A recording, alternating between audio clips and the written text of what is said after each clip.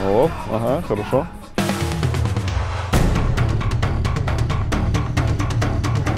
Давай, тряпка!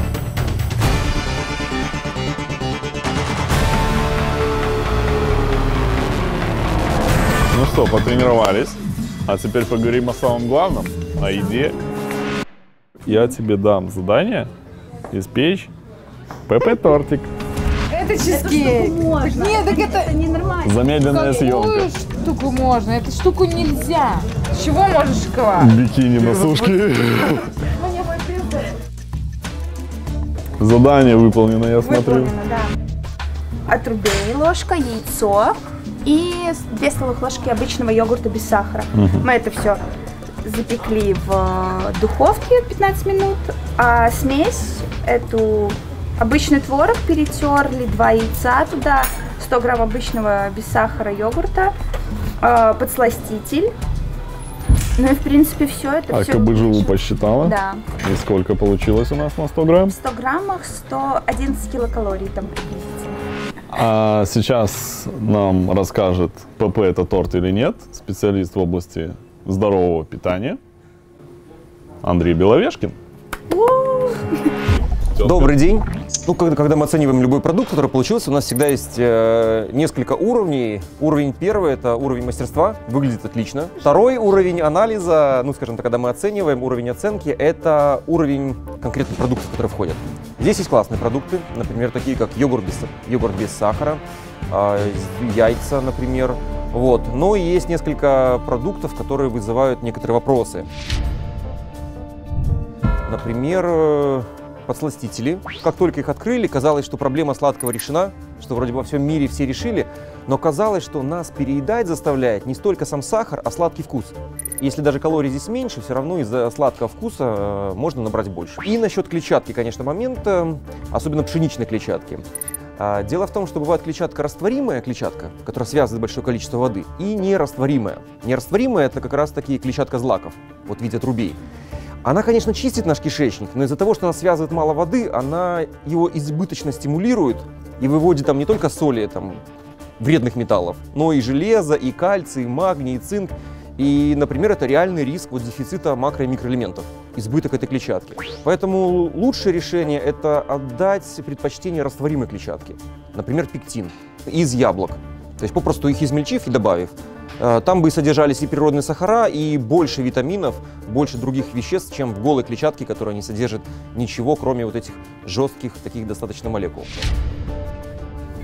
Она решила нас отравить, судя по всему, чтобы закончить ее страдания.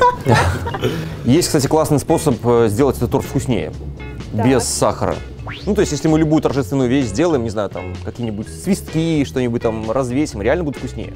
Даже если мы сделаем странную вещь, например, три раза повернем по часовой, сдвинем, подвинем, раз, два, научно установлено, что любая, любые манипуляции с пищей делают ее вкуснее, реально.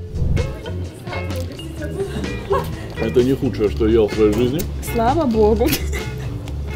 Торт вкусный, но вы знаете, я бы добавил, только никому не говорите, сахар.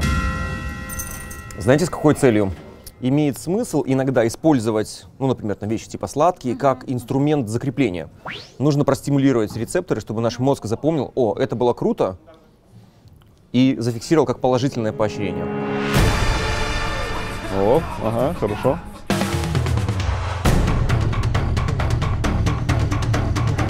Давай, тряпка!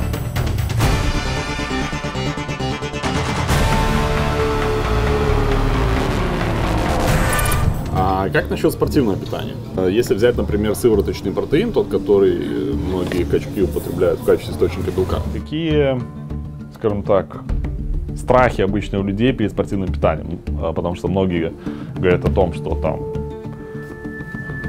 не стоит. Да. Печень отваливается, там еще что-то, какие-то есть побочные эффекты, может быть. Э, Э, ну, чтобы развеять мифы, я вам просто расскажу, как делается протеин, и вы поймете. Берется обычное молоко, э, вот, э, делается из него сыр. Сделали сыр, из сыра сливается сыворотка. Вот слили вот эту водичку, вот эту сыворотку, да, и вот эту водичку пропускают через фильтр. Все, что остается на фильтрах, вот это сывороточный есть протеин.